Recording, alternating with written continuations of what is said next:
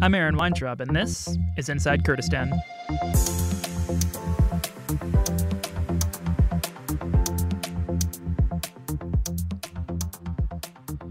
You can judge a society on a lot of different metrics. Uh, most of the time, people judge societal success on sort of a balance between public and private sector effectiveness and efficiency. Uh, if the economy is strong and the government is popular, that's a society that's moving in the right direction. Uh, now, there are, of course, gaps in this logic, uh, so I'm going to propose an alternative metric. Uh, I think that the health of a culture is judged by how communities within it treat the most vulnerable populations. And you might think I mean the homeless uh, or the mentally and physically handicapped or the elderly, and these are all good demographics to watch for. Uh, but I'm actually going to point to another area that goes overlooked a lot of the time. The success and health and progress of a society can be judged by how the people in it treat their animals. Whether those animals are livestock, pets, strays, uh, if they're animals used for labor or to promote social status, uh, if the abuse they sustain comes from a cultural or religious reason, uh, or maybe industrial reasons, these are all standards uh, that Kurdistan is only just starting to grapple with. Ashti Falakadin is one of the leading animal activists in Kurdistan, and she's helped establish the first animal shelter in the region. And she's now helping with pushing through legislation uh, for animal protection in Kurdistan's parliament, along with uh, Dr. Suleiman Tamir from Duhok uh, who drafted the legislation. And when we spoke, that legislation had actually just been submitted and was under review. So we spoke about some of the need for regulation for animal care in Kurdistan, as well as a few of the issues regarding animal abuse here, in particular dogfighting and illegal importation. Uh, but we also spoke just generally about animal rights and how it's perceived here, and what's changed in the past 10 years and what still needs to change in the next 10. Uh, so, with that, I'll just turn it over to our interview. Here's what she had to say.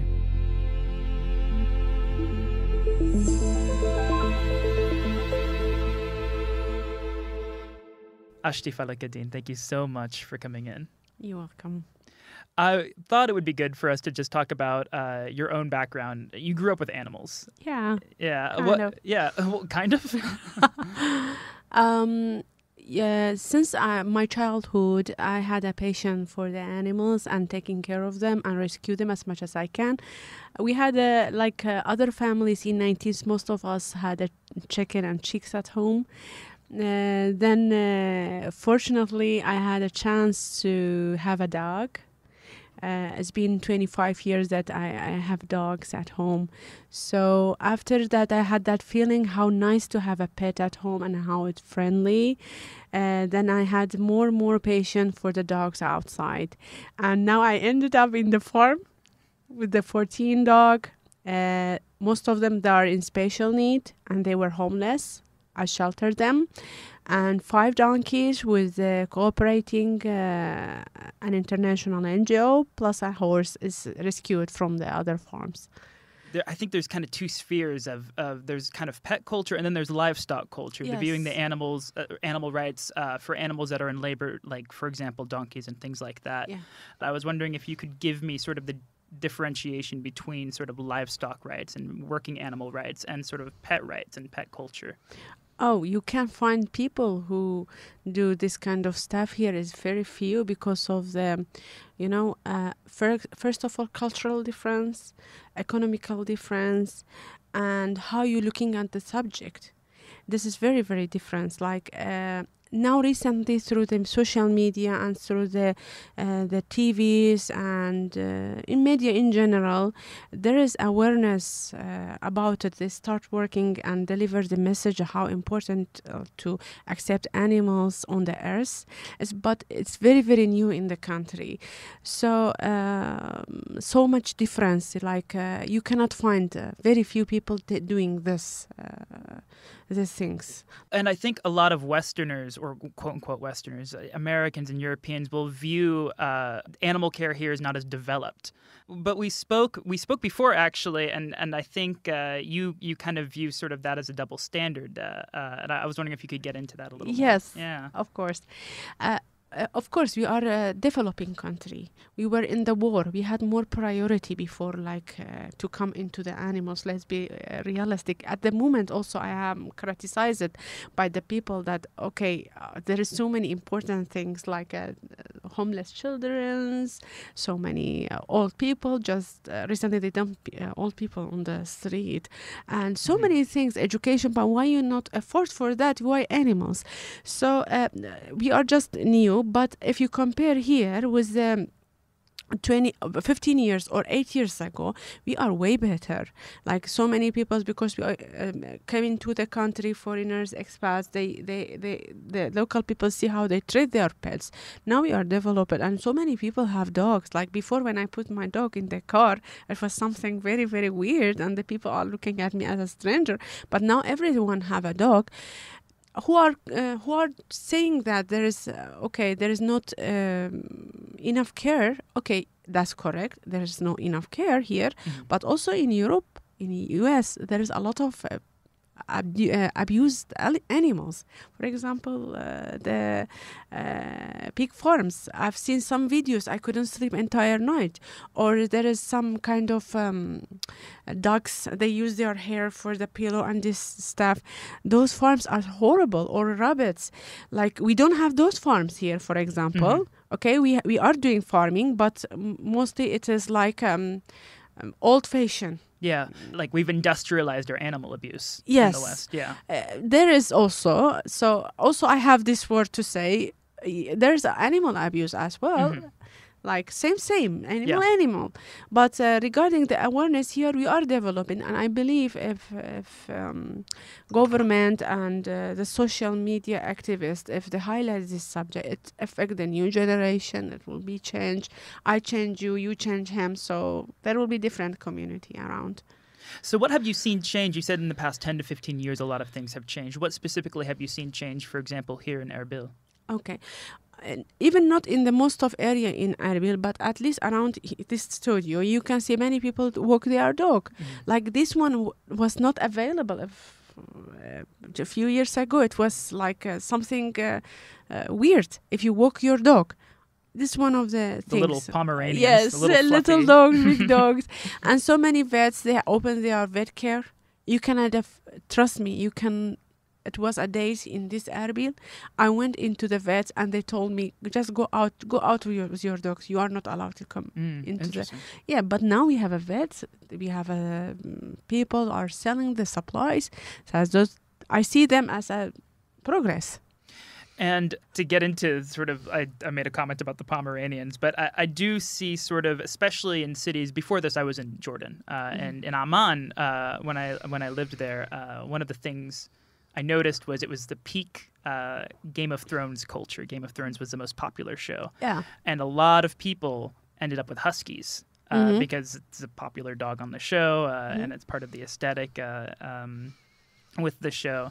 And here it's Pomeranians. It's this little yes. yeah, yeah, yeah. Because it is easy to to carry and yeah, exactly. It's a status, like it's expensive dogs for people. well, exactly, and and there's a there's a socioeconomic uh, factor to consider with with pet care. People who have time and money take Yeah. care of pets more. Yeah. Uh, and I was wondering if you could actually expand on that divide and and the way that different uh, uh, socioeconomic groups here perceive as pets.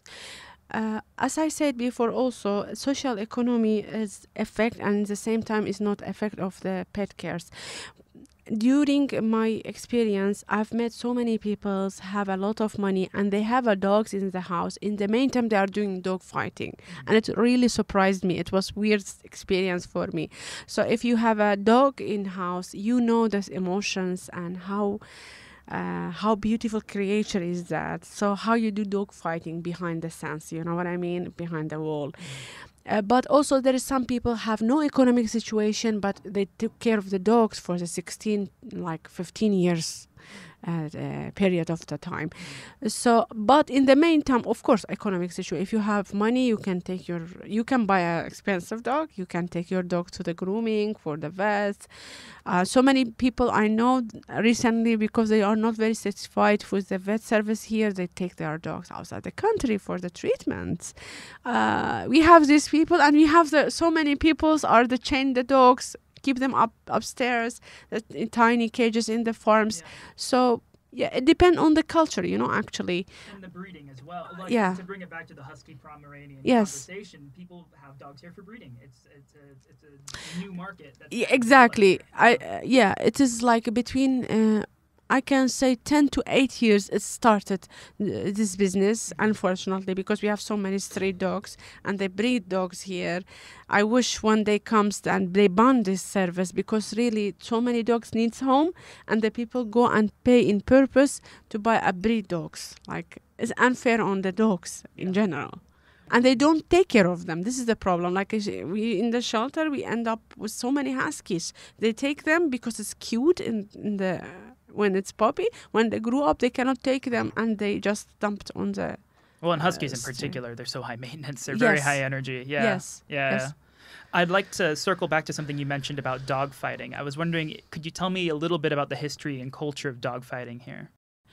Uh, the dog fighting, first of all, it's an illegal, illegal uh, event. Uh, it's happening here, but uh, it's uncontrollable as well because they do it somewhere not everyone can see, and this oriented uh, in between Turkey, Iran, Afghan, Pakistan area. Uh, they say it's part. If you go to the dog fighter, you ask him why you're doing that. He says it's part of our culture, but it's not true. It's not part of our culture at all. We used to use the dogs for the guarding, never for the fighting. But through dog fighting, there's a lot of money going on because they, they put money uh, aside for the dogs who win or who lose, or whatever. I don't know the details too much. But uh, yeah, and uh, they train the dog to be very aggressive. They, I saw uh, like in the area of our shelter, I see the dog. They chain it with um, uh, uh, with the tires to have a muscle and get strong, and make him walk uh, kilometers was dragging the tires through his back. So Mhm. when I saw that um, picture, I say, "What are you doing?" He says, "I'm preparing him for the dog fighting." And the dog was huge. Usually they use a big size the dogs over 30 kilogram. Um, there is a dog uh, called Pishdar dog breed usually used for this dog fighting, and unfortunately, it happens every single week here, every single day somewhere around the the region. Who attends these? Who goes to these? I mean, how are they promoted? You may not believe, but very uh, strange. But so many people in different levels is attending to this, unfortunately bad event. Uh, like uh, even from the governmental people, when you go and claiming. You claim and you say okay it should not happen but you you will see the video he's in there and you see they watch the Mhm. the fight. They have their own pages and people follow them. They announce the dog fighting timing and places, and the, the every dog who win have a name, of course. And the, all, most of people knows this name is, for example, X. This dog is have a fight, and they collect. They say they mention the timing, and they collect to, in the, to the areas. as So it's on Facebook and things like Mostly it's Facebook. Yeah. and they have. I heard that there is a WhatsApp group also, a huge group. Mm. They announce there. I mean, are there regulations against this? You say it's illegal, but it's being advertised on Facebook. I haven't seen any police go catch them and put them into jail or they uh, they charge them a fine for this. I haven't seen so far. I haven't heard about it, but it's illegal. If you come to the the legal part, it's illegal. Um, I wanted to also talk about so that's you know cer- certainly dogfighting is one aspect of uh, abuse here, but in general, if we could talk a little more about uh, regulations regarding livestock abuse as well and uh, uh, animals who work. Uh, when I went uh, to the shelter uh, project from 2019, and our shelter located in the area is called animal market, animal stock market. When I see the animals there, I have seen dogs more lucky than them, because seriously, uh, uh, from the transportation, from the way they are selling them, from the way they keep them. Uh, from the way they're treating them, they are so bad, like very much bad. Uh, we have illegal animals, sick animals, in came into illegally in into the town, and they sell it with the less price without going through the uh, healthcare and health check. If they uh, and they they they they put them in the car, like they load them in the car, like the car, if the car, for example, can handle like 100 uh, ships, they put 150, and most of them they chunk in the car. so they just threw them away around and you can see they are remain on the the the, the street. That broke my heart. Like how okay we we know the dogs is like it's the the community they don't like it because of religious influence Mhm. into this and also cultural side of it. But what what about the sheeps why nobody see that? Like uh, if you uh, if they deliver the sheeps or cows from here to the south uh, they need to offload them for the resting. I haven't seen them. They give them water. Like how they load them it is a vi- uh, was a very very tough way. Like they hit them and it's so heartbreaking so heartbreaking So you mentioned uh, uh, the, the the illegal importing of animals over the border. I was wondering if you could give me a little more insight into the black market that exists there. Uh, here in the region, unfortunately, there is a black market for the livestock and for the other things. They sell the wild animals and the pets. Actually, you can fi- if you if they steal your pets, you can find them there in the Friday. They Mhm. sell it. Uh, but this market, the black market for animals, illegally comes into the town and they sell it. And if you notice, there's some some places their meat is very cheap because it not goes through the process of the health check and this stuff okay then they sell it or they send it to the south of uh, Iraq, like to the Baghdad or Mhm. Basra and these places. Uh, So the price of those animals are cheaper than uh, the normal legally uh, animals imported to the Kurdistan because they pay taxes. They went through the uh, health cares and this stuff, the governmental process, let's say. Uh, it's available and they all know where it is, but nobody have an action about it and how it's difficult, uh, dangerous for the animal life, uh, for human life. Uh, uh, pardon, because uh, usual uh, uh, daily we use meats, so it affects uh, Mhm. The the human health as well. But they try to control it, but it's uncontrollable, unfortunately. So you've actually had like you've been quite busy right now, um, pushing some of your own like legislation through your for regulations on on you know. it's been a of w- this. year Yeah, yeah. working on it. Yeah, could you take me through it? What have you been working on? Yeah, there is a draft uh, submitted to the parliament. It's contained from the 29 articles. It's very, very wild. Like uh, for it contains from the animal right how they use for everything, like uh, pets, for the stray dogs, cats, farming, hunting, uh, wild animal. The animals are rare and never allowed to be hunted. Everything, uh, and even the the way the condition how they people need to take care of the their livestock. Uh, it is now under uh, the discussion, and this draft is drafted by Dr. Suleiman from Duhok. He's a vet, and he has an NGO, Animal F- Animal uh, Kurdistan Corporation, something like that. I Mhm. don't remember uh, exactly which the name. Um, I informed him last night. Today, the law will be under discussion finally after one year. Congratulations. Yeah, thank you so much. I hope it goes to the implementing very, very soon. And of course, without awareness, that one doesn't work.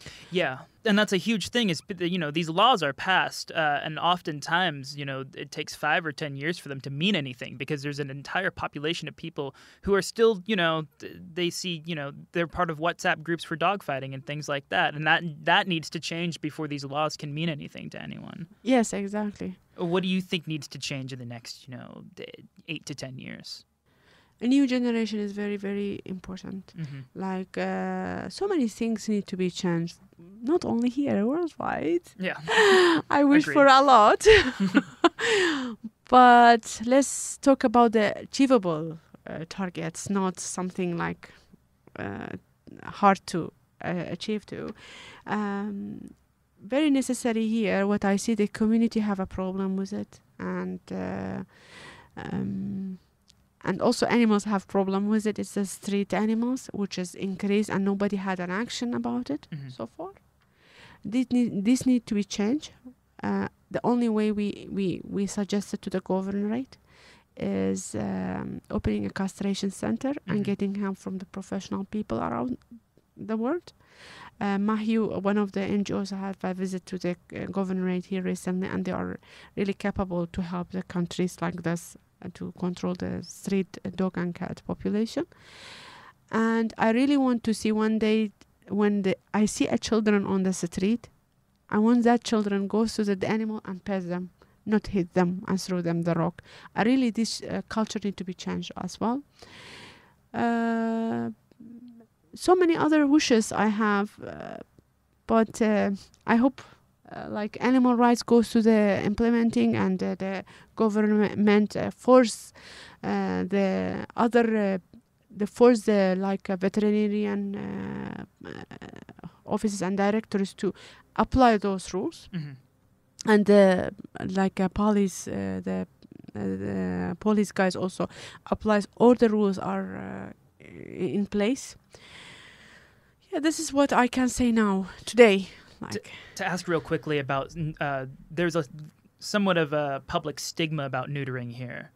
uh, before five years six years there was so many people against it because they say it is um, is religious wise not allowed you you do this to an animal it's unfair as an emotionally i believe yes a little bit because really you cut up part of some hormones from an animals but when it comes to the community benefit in terms of animals and humans it's the only way you can control the the street dogs and uh, street, cat, street cats uh, so um, now it's changed. Now it's different. When you go to the veterinary office, when you go to the government governorate, they they came the they came to that plan. Okay, the only solution for today's street uh, and homeless uh, dogs and cats is only castration.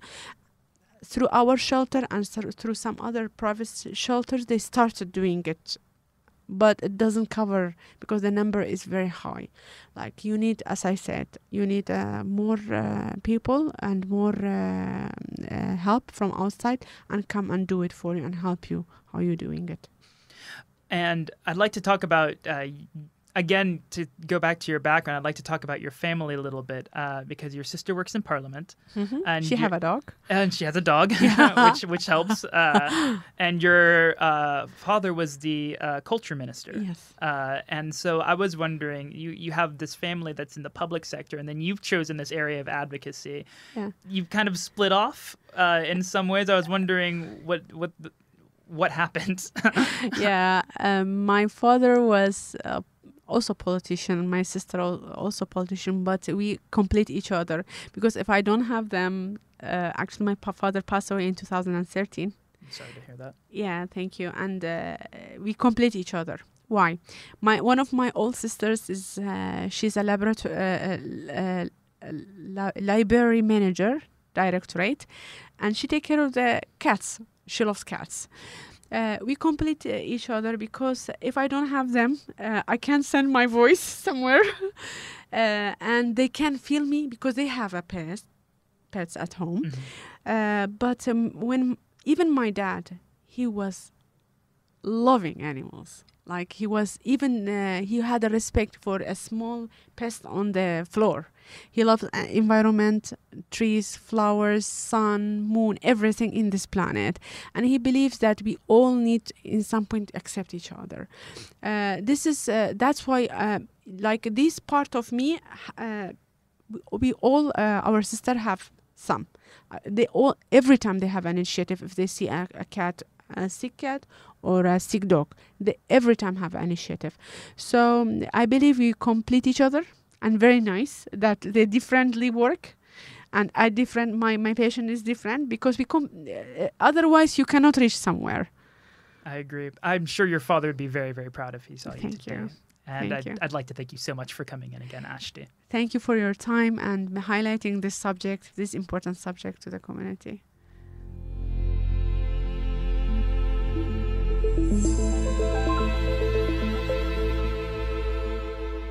Thanks so much to Ashti Falakadin for coming in and speaking with us. Uh, I've gone ahead and put some organizations below that you might be interested in checking out. Uh, one of them is Dr. Suleiman's organization, the Kurdistan Organization for Animal Rights Protection. Uh, Dr. Suleiman has been another pioneer for animal rights in Kurdistan, so we hope to have more on him soon. Uh, the other organization is an organization Ashti works with as well uh, that she mentioned in the interview called War Paws, which is an international NGO dedicated towards rescuing and rehabilitating animals uh, that have survived conflict, uh, and they do fantastic work. Inside Kurdistan is brought to you by the Kurdistan Information Network, and the link to our website is also listed below. If you have any questions or comments about any of our episodes, uh, be sure to reach out to us at info at kurdistanin.net. And of course, uh, this podcast is available on Apple, Spotify, and Google, and a whole list of other platforms. So if you like what you hear, uh, please be sure to like and subscribe and tell your friends, family, or whoever about us. Thanks, of course, for listening. I've been Aaron Weintraub, and this has been Inside Kurdistan.